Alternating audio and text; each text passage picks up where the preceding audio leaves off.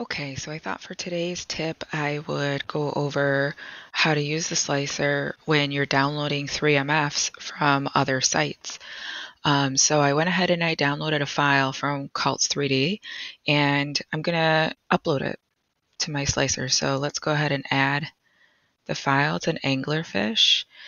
Um, you can see right here, this one's already all colored and it's a 3MF file.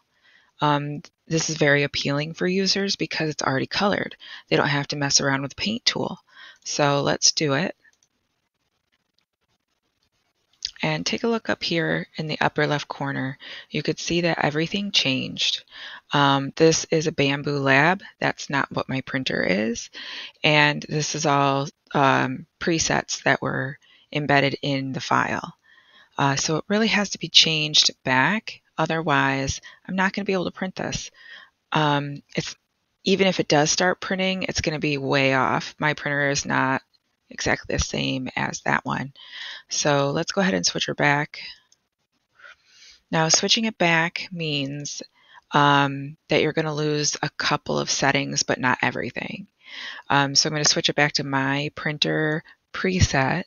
Um, is exactly what it sounds like. It's a preset for my printer that has the dimensions um, and a whole lot of other things. If you want to see that, you can always click the edit button and take a look at your preset.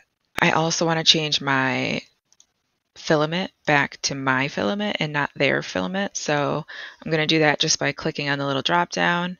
You can also click on the little pencil over here and then click up here in this drop down and choose um, any of your presets. Um, and then it's going to go ahead and just pick the top thing um, that's in the list of uh, print profile that you've saved. If you've customized print profiles, saved them, this is where they're going to be. Um, the stock settings are down here. They get kind of pushed down so this is the one I usually use. Um, it's really good for things like overhangs and uh, loose stringing. I can always tweak any of the settings um, on this print preset if I wanted to.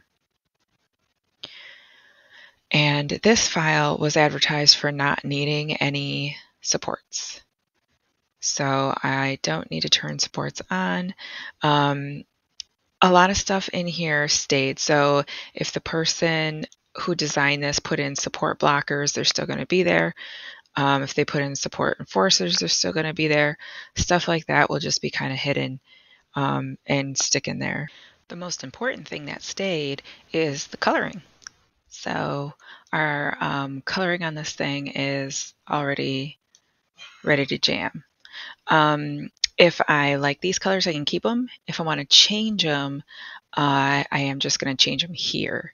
So if I don't have this shade of blue, uh, which I do, but if I didn't have it and I had a different blue or a different green or what any color that I have and that I want to use, I can absolutely change it like that. Changing the color using the painting tools, probably not ideal. Um, not for this kind of model.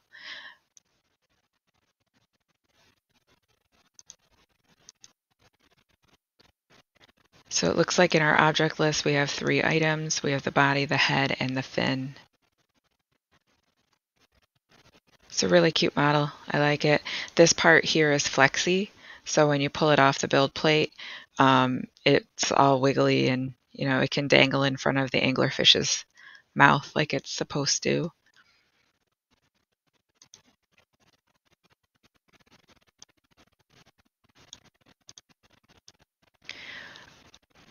I really like the colors that the um, designer has already picked for this model. I like it a lot.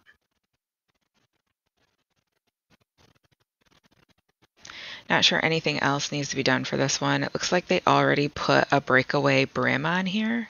If you look really closely, right here they have these little tabs that look like they break away.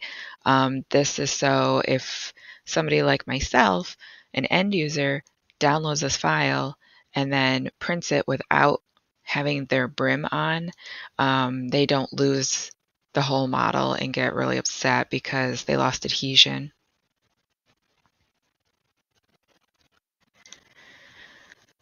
So that's how to successfully download a 3MF and alter it back to your um, printer settings so that it successfully prints. You don't want to um, just download and print. If it's 3MF and it's colored and everything, it's going to be all messed up. If you're enjoying this content, please like and subscribe. Thank you so much.